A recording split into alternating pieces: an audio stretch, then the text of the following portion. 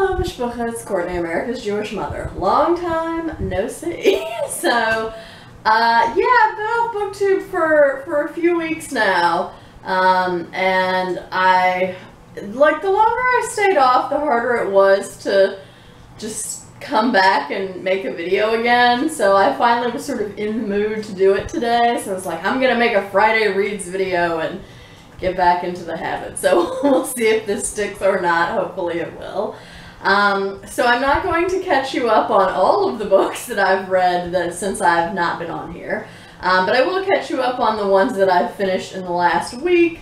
Um, so I did finish a week ago uh, Exit West by Mohsin Hamid. This is a book that I think kind of made the rounds on BookTube uh, three or four years ago when it first came out. Um, it's a fairly short book about two characters uh, named Saeed and Nadia who are in love. Um, and they are in a war-torn, unnamed country that's, you know, probably in the Middle East somewhere, say Syria, somewhere like that.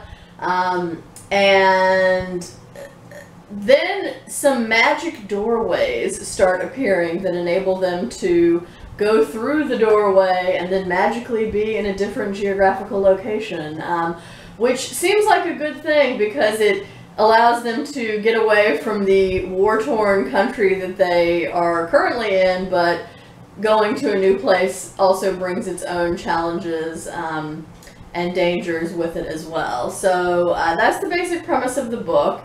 Um, I ended up giving this three stars. I did think there was some very nice writing in it, and I appreciated the sort of overarching fable of it um, because it's it's really sort of about immigration uh, when you when you get right down to it. What didn't work as well for me was the lack of characterization. So we don't really get inside the heads of either Saeed or Nadia. Um, we do learn a little bit about them and about their relationship, but they just didn't feel like fully developed, fleshed out characters, and so for that reason I did not feel as close to them as I wanted to feel. Um, but I would definitely still recommend this book if you've not read it, especially if you like reading stuff about immigration um, or like books that are um, more sort of fables in nature and don't mind uh, your books coming with a good side of magical realism. Um, so three stars. I then uh, went on kind of an audiobook extravaganza and I finished like three books in the past week that were all audiobooks. Uh, the first of those was The English Spy by Daniel Silva. This is the 15th book in the Gabriel Allon series. Uh, to my knowledge, there are, um, as of this year, 22 books in the series because Silva comes out with about one a year. Um, so I'm gonna eventually make my way through the whole series. I'm not been I've not been reading them back to back, maybe one, you know, every other month or so for a while now. Um, so this was the 15th book in the series. I liked it overall. I gave it three and a half stars. It continues to follow Gabriel Allon, who is a an art restorer by trade, but also used to work for um, a branch of the Israeli of Israeli intelligence and keeps getting pulled back into missions for the office, um, as it were. Um, so I, like I said, I gave this book three and a half stars if I didn't say that already. Um, I did like it overall. I like especially that Silva took a different approach with this book than I've seen him use in some of his previous novels because one complaint I've had about this series as I've read through it um, is that sometimes he'll recycle a plot that he's already used in a previous book, and that irks me because I feel like you should be more inventive than that. Um, so he did take a different tack with this book, and I, I appreciated that. Um, by this point in the series, Gabriel is also working with someone who was once uh, an enemy of his, um, and I really enjoyed the banter between the two of them, and I like seeing that relationship develop. I did feel like the book was very convoluted Silva was basically just like, oh yeah, as far as this plot goes, I'm just gonna throw 18 things to the wall and see what sticks. So, um, so that part I didn't like as well, and I do think um, you know, it's a book I would mainly recommend if you're already a fan of the series because while I think Silva does try to introduce um, characters and events that have happened in previous books in the series, and he does um, a, a, pretty good job of that. I just think it's easier if you've already been following along this whole time and know who some of these people are. So, um, so three and a half stars. I then listened to another audiobook, which was um, Long Time Coming, Reckoning with Race in America by Michael Eric Dyson. Um, this came out in 2020, the same year that there seemed to just bloom a cottage industry of anti-racism books, and this was one of those. I think it came out in December of 2020. Um, Michael Eric Dyson is a is a reverend, um, I believe, in the Baptist Church, and he sets up this book as a series of letters to Black victims of mostly police brutality um, so there's one to Eric Garner. Um, there's one to Emmett Till. There's one to Clementa, Reverend Clementa Pink, Pinckney, um, and uh, Sandra Bland, and, and, a number of other people too. Um, so I gave it. I gave this book three and a half stars. I think it's fine as a sort of anti-racism primer if you don't really if you haven't really read too much other anti-racism stuff. Um, I think he does a good job at conveying um, the severity of the situation in the United States with with respect to police brutality and like definitely does a good job of highlighting how these are not just isolated incidents. It's clearly a pattern. It's clearly repeated throughout history and it's still ongoing to this very day um, so all of that I thought he did a good job with. I did not think the letters conceit worked very well, um, mainly because he didn't just talk about the death of the one person who he was allegedly addressing the letter to. He also worked in other stuff and other victims of police brutality to the point where you forgot who he was allegedly talking to initially. Um, just he would occasionally insert things like my dear Brianna or my dear Sandra or whatever. So that didn't work for me. I thought it should have just been more focused on that particular person. There was also one chapter that basically was kind of a rant about cancel culture that I just sort of fundamentally disagreed with. Um, and again, I, I wouldn't necessarily recommend this as the first book if you've never read anything about anti-racism before. Instead, I would probably recommend Ijeoma Oluo, So You Want to Talk About Race, or um, Robin DiAngelo's White Fragility, or um, Emmanuel Acho's uh, Uncomfortable Conversations with a Black Man, if you are a white reader who, again, is sort of just starting to dip your toes into, into anti-racism. Um, but it was fine overall, so three and a half stars. Um, I then finished uh, The Ladies Auxiliary by Tova Mirvis. This is a book that was gifted to me last year by Lindsey of Lindsey's Book Life in our holiday book exchange. Um, and I kept putting it on my TBRs earlier in the year and never getting to it, so I finally finished it this month, so that was good. Um, so this is a story about an, an a, a close-knit Orthodox Jewish community in Memphis, Tennessee. Um, and the book is actually narrated in a collective first-person we voice. Um, and it's about an outsider named Batsheva who moves into the community and she's kind of free-spirited and then the teenage daughters of this group of Orthodox Jewish women kind of start clinging to Batsheva.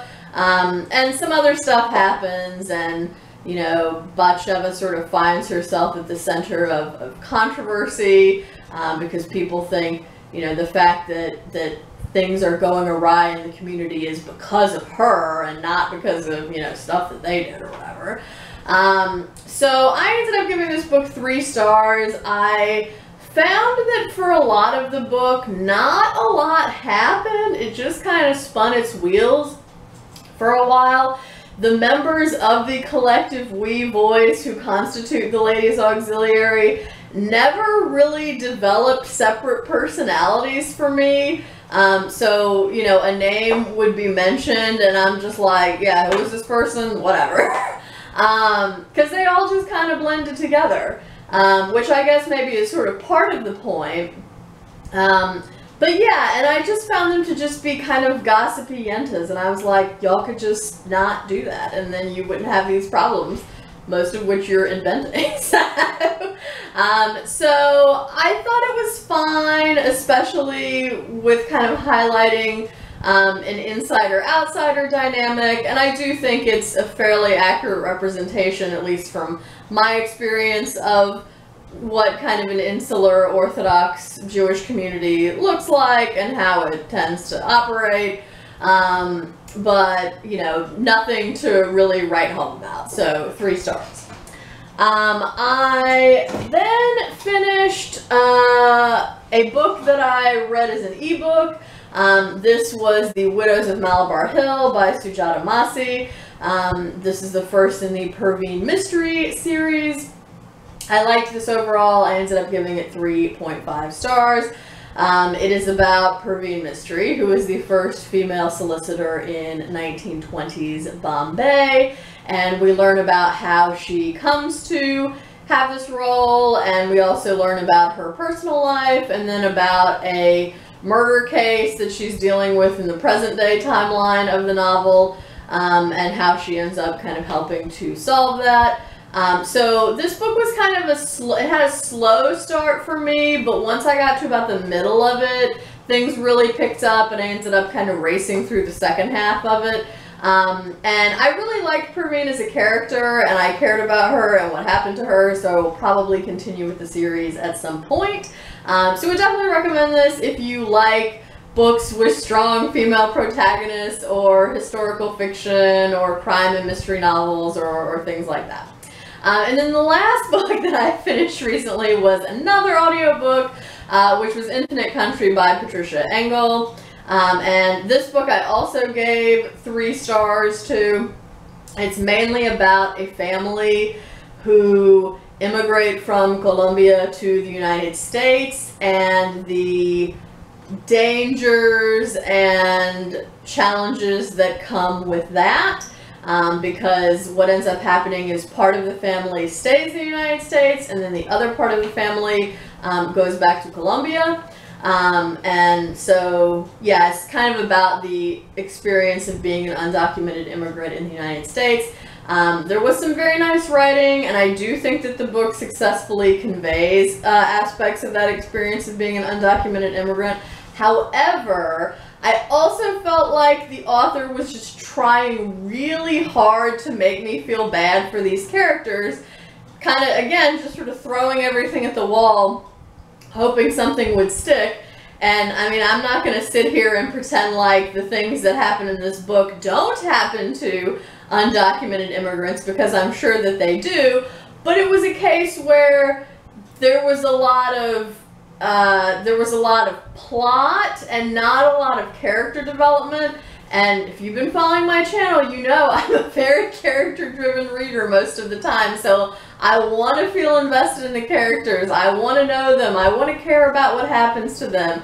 Um, and again, I felt like we were kind of held at a remove from the characters, so it was hard for me to sympathize with them, even though, again, a lot of bad stuff happens to them. Um, but I seem to be in the minority with this opinion because I think a lot of people have read this book and liked it. So, you know, by all means, if you're someone who likes plot over character development or appreciates the messages and overall themes of a book more than the character development, you will probably like it more than I did. So um, I ended up giving this book three stars. Now, in terms of what I am currently reading, I am currently reading my last uh, prize, I mean, my last book for the BookTube prize of the semifinals round. I've been judging nonfiction this round. Um, and I've read all my other books except for this one that I'm currently working on, which is Daniel James Brown's Facing the Mountain, the true story of Japanese American heroes in World War II. I am a little over 100 pages into this, um, so I will certainly be finishing it in the next week or so because I have to have my ballot in by the end of the month. So um, I have been recording my thoughts on the BookTube Prize books as I have progressed, um, so there will be a reading vlog of those that goes up when Robert announces the um, results for the finals round, um, probably the, the 1st of August. Um, so I'm reading that. Um, and I also started yet another audiobook. um, so I recently started um, The Other Black Girl by Zakiya Dalila Harris. Um, this is about a an African American woman named Nella Rogers who um, is the only black woman working at a publishing house in New York City. Um, and then suddenly another black woman named Hazel is hired. Um, and I haven't gotten too far into it yet, but my understanding is that some some strange things start happening, um, and it's it takes on sort of a, of a thriller vibe. Um, but so far, Hazel has started working there, and she and Nella have met each other, and Nella seems to like her and kind of hopes that they'll be friends. And we've kind of explored some of the racial microaggressions that she has to deal with on a regular basis in the workplace. Um, so not super far into that yet, but enjoying it so far. Um, I'm also currently reading a play, Venus, by Suzan-Lori Parks. I just started this yesterday, and I'm probably going to finish it tonight before I go to bed. Um, it's really good. so this is an experimental play about a woman who was um, taken from Africa and exhibited under the name the Hottentot Venus or the Venus Hottentot, um, whose real name was Saartjie Baartman. Um, and so yeah, we learn about her life, we learn about kind of the details of her exploitation um, and the various people in England to whom she is is passed along. Um, so yeah, this is really good. Uh, I won't say anything about a possible rating since I haven't finished it yet, but it's really good. So, um, and then the last book that I'm currently reading is The Lost Shtetl by Max Gross. Um, this is about a small, remote village in Poland called Kreskol um, that we're introduced to, and it seems like it kind of operates as if, you know, the setting is, say, the mid to late 1800s or something like that. Um, and like I said, it's, it's a very remote village in Poland, and no one really goes out of it, and the only people who ever come into the village is this traveling band of Romani people who come through maybe two or three times a year and, you know, trade goods with the, the Jewish people that live in, in Kreskol because um, it's an all Jewish community. So what ends up happening is um, a couple from this village have a falling out and then the wife disappears and the husband disappears and there's some talk that possibly the husband could have murdered the wife and run off and so they think it's important to send someone to the next neighboring um, city uh, to possibly alert the police since they actually don't have a police force in this village because it's it's that small and you know nothing really ever happens that major.